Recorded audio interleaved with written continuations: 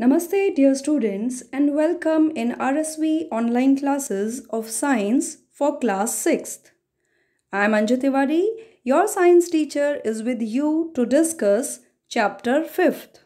It is about separation of substances.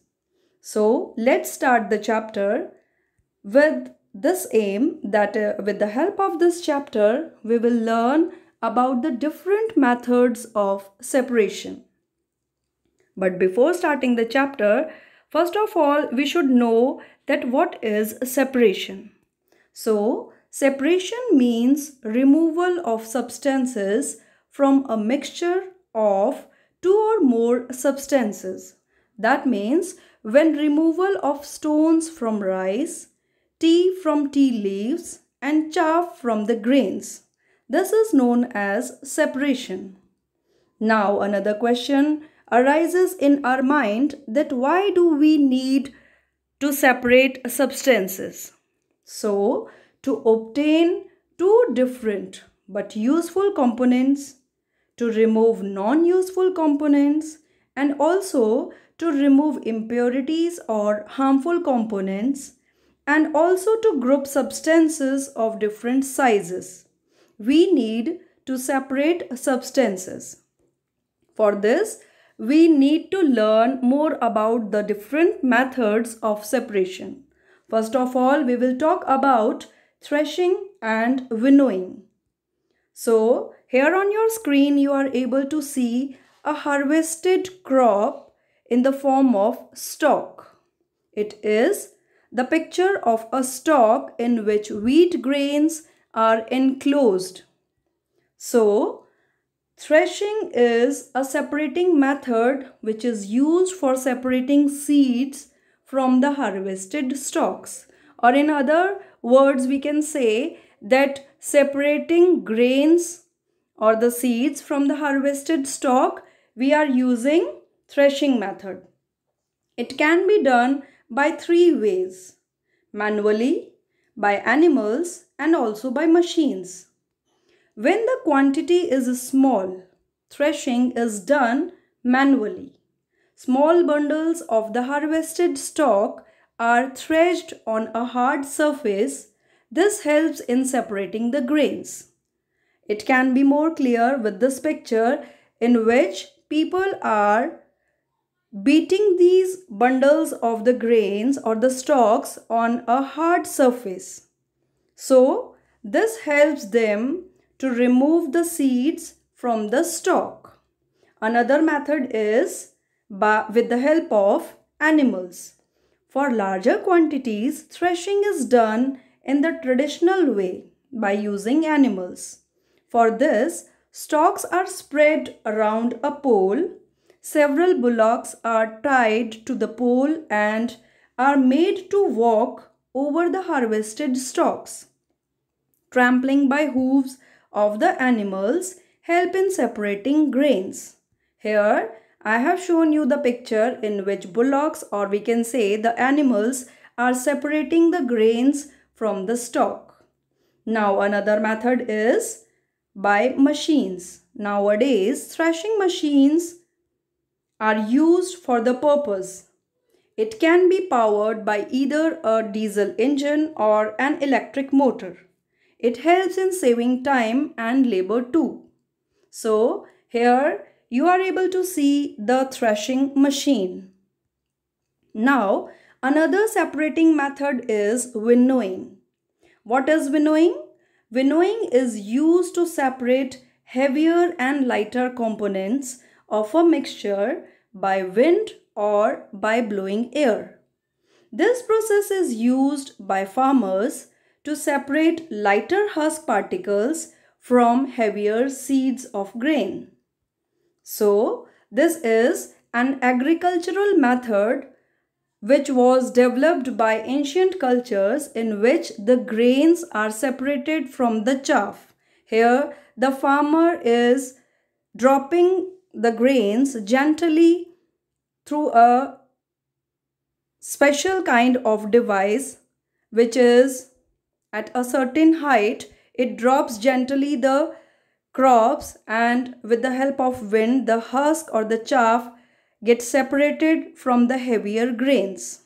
So in this way, with the help of wind, farmers separate chaff or the husk from the grains. Now another method is sieving method in which a sieve or a net of fine pores is used to separate different size of particles.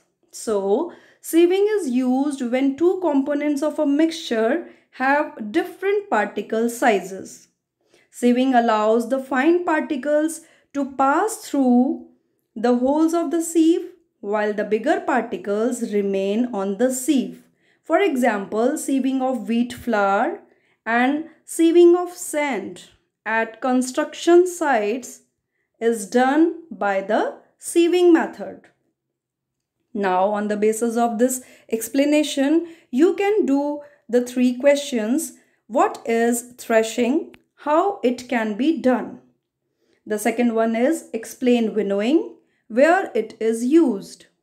And the third one, what do you understand by sieving? So let's move to another separating method that is handpicking. Handpicking, it is the simplest method of separation of substances. This method is used only when the unwanted material is in small quantity. Moreover, shape, size or color of the unwanted material is different from that of the useful material. For example, pebbles, broken grains and insects are separated from rice, wheat and pulses by hand picking.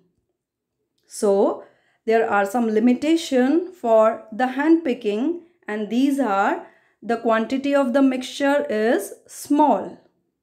That means hand picking is only uh, can only be done when the quantity of the mixture is small, when the unwanted substance is present in smaller quantities, and the shape, size, and color of the unwanted substance is different from that of the useful one. Now we will discuss the filtration method. Filtration method is a separation of solids from liquids either by using a filter paper or strainer. For example, separating tea from tea leaves, we use a strainer or we can say that chalning or separating mud from water, we use a filter paper. A filter paper is a special kind of paper that is having very fine pores. Now we will discuss Another method that is the sedimentation. Sedimentation can be done when we keep the sandy or the muddy water undisturbed for some time. Then we will be able to see that clear water can be obtained as a top layer and mud gets settled down at the bottom. So, we can define sedimentation as it is a process in which solids are separated from the liquid. All the solid settle down at the bottom of a beaker and on top a clear layer of liquid is obtained. This is called sedimentation method. Now here on your screen you are able to see this is a picture of decantation method in which when the heavier particle or the sediment gets settled down at the bottom, we transfer the clear water into another beaker without disturbing the sediment. And this process is called decantation. So here we are defining the decantation. The process of pouring out the clear upper liquid without disturbing the sediment is called decantation. Now in this chapter, we have learned about handpicking, threshing, winnowing, sieving, sedimentation and decantation and also about filtration. Yes, three more separating methods are also given in this table that is evaporation, distillation and churning. Evaporation is a method in which we separate soluble solids simply by heating or boiling so that water evaporates and we will get the soluble solid material at the back. An example of evaporation is when we obtain salt from seawater simply by heating the water. Distillation is another type of separating method in which evaporation and condensation take place combinedly so that we can collect the water vapors by the process of condensation. And the last one is churning. Churning means shaking vigorously the liquid so that the lighter part will float on the heavier one. For example, to separate cream from milk, we use churning method. When we shake the liquid vigorously, then the cream will arise or the cream will float at the top of the milk. In this way, we can separate cream from the milk. So students, you have learned the 10 different types of separating methods with this